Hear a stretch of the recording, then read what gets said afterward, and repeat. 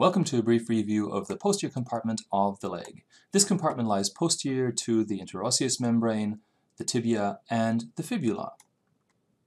This compartment is divided into a superficial and a deep posterior group of muscles. There are three muscles in the superficial group. The gastrocnemius, which has two heads, a lateral head and a medial head. The soleus muscle, and, last but not least, the plantaris, with its very long tendon, which is also referred to as the fool's nerve, because it is a muscle and not a nerve.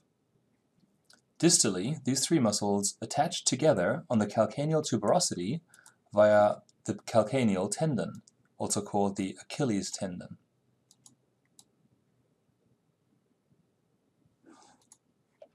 The deep group contains four muscles, the tibialis posterior, the flexor digitorum longus, the flexor hallucis longus, and the popliteus.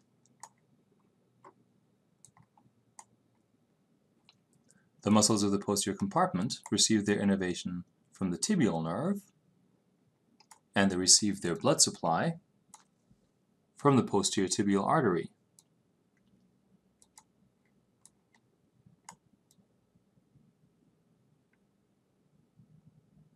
Note also that this is also where the anterior tibial artery arises to cross through the interosseous membrane to supply the anterior compartment of the leg. Soon after the anterior tibial artery has split off of the popliteal artery,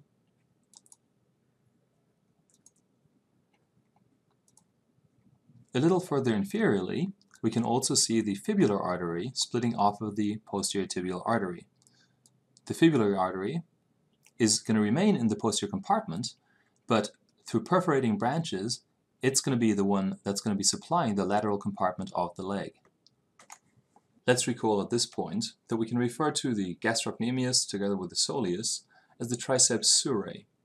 The origin, or proximal attachment, of the gastrocnemius would be the condyles of the femur, this is for the lateral and the medial heads, and the origin, or proximal attachment, of the soleus would be the proximal tibia and part of the fibula.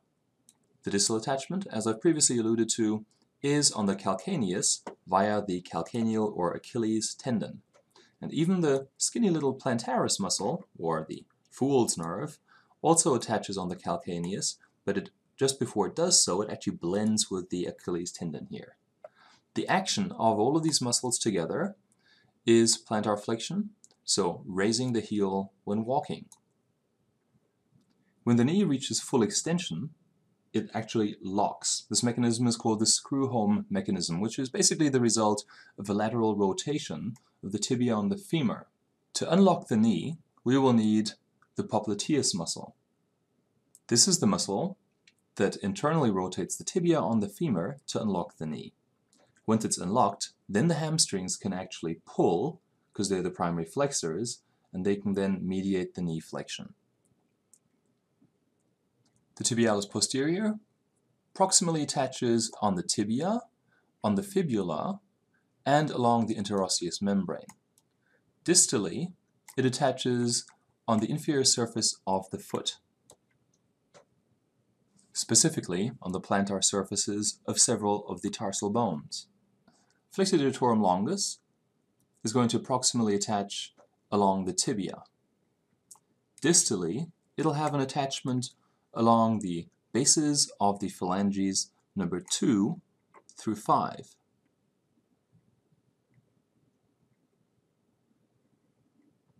We can already see that the tendon of the flexor digitorum longus, along with the tendon of the tibialis posterior, are coursing posterior to the medial malleolus of the foot.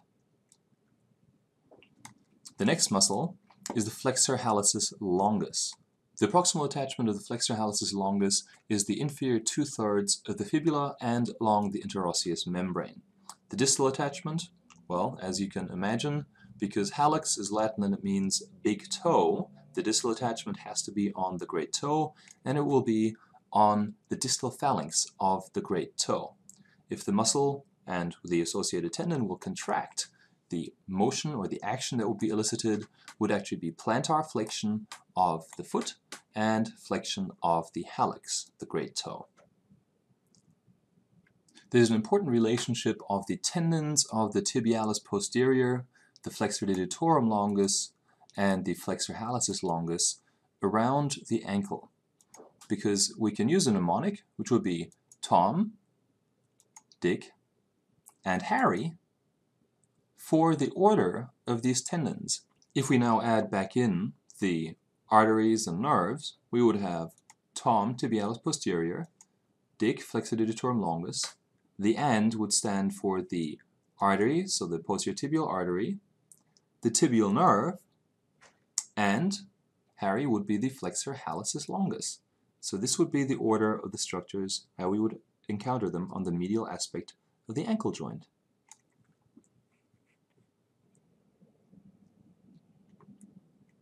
Thank you for your attention.